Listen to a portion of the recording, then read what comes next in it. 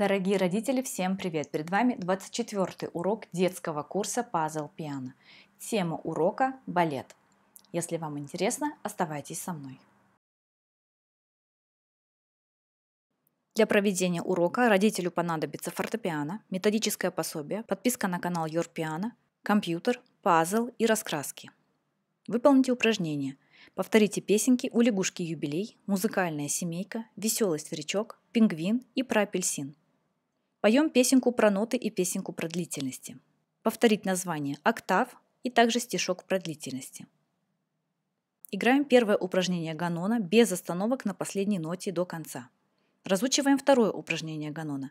Объяснять также без нот и схематично. Как только правой рукой получается играть с остановками на последней ноте схемы, подключать левую руку по такому же принципу.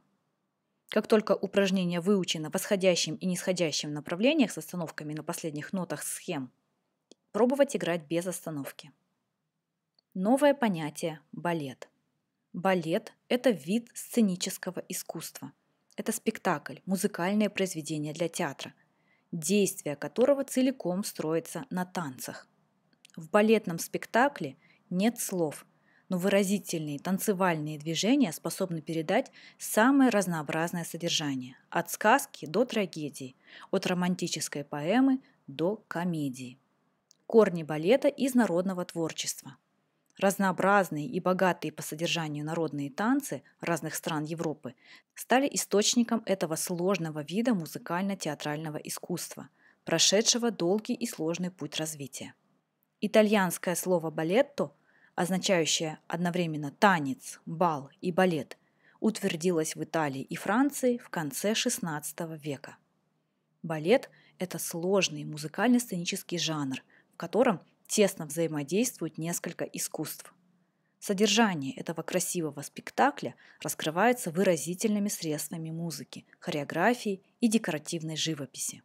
Поэтому у балетного спектакля четыре создателя – композитор – либретист, то есть автор либретто, балетмейстер и художник. Композитор пишет музыку на основе либретто. Это краткое изложение содержания. Балетмейстер сочиняет хореографию. Художник создает костюмы действующих лиц, а также декорации. Либретист пишет либретто.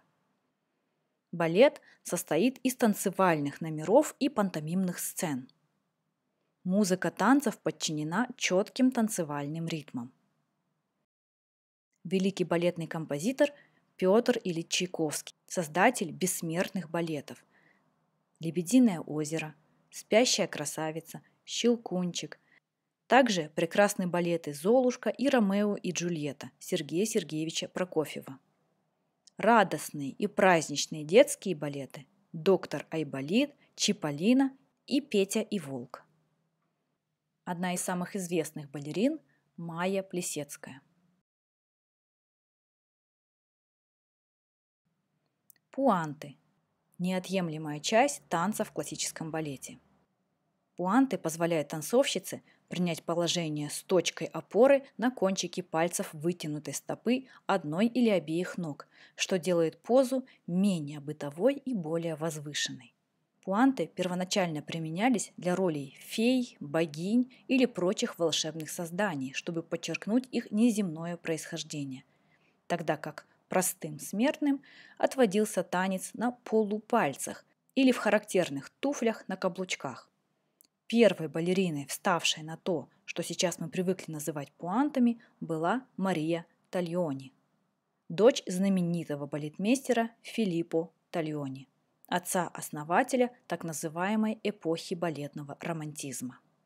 Мария, по словам современников, не имела никаких данных для занятий балетом. У нее были длинные конечности, довольно высокий рост и плоская грудь. Она была слишком худая. Но сейчас все вышеперечисленное – это минимальные требования к артистке. Тальоне сам репетировал с дочерью.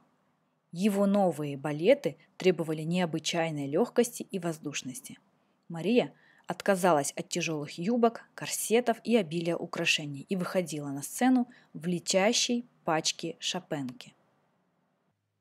Выполните упражнение. Посмотрите видео номер 48, 49 и 50.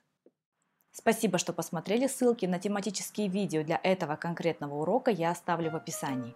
Разворачивайте описание, там всегда много интересной информации. Если вы хотите заниматься вдвойне или даже втройне эффективнее, занимайтесь по схемам проведения уроков. Ссылку на схему проведения уроков я оставлю в описании. Спасибо, что посмотрели. Ставьте лайк, если информация оказалась для вас полезной и интересной. Подписывайтесь на мой канал. Всем пока!